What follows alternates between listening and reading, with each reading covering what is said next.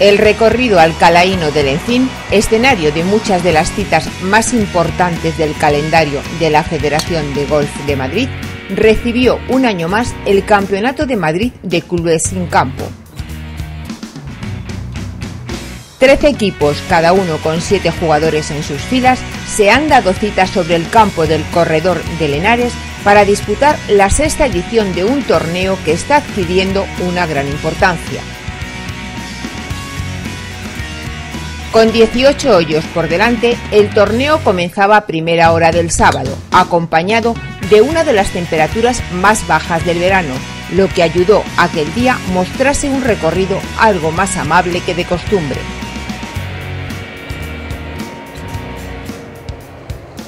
Sin embargo, el técnico diseño de Von Hagen supuso una vez más un duro test para los 91 golfistas que tomaban la salida a tiro.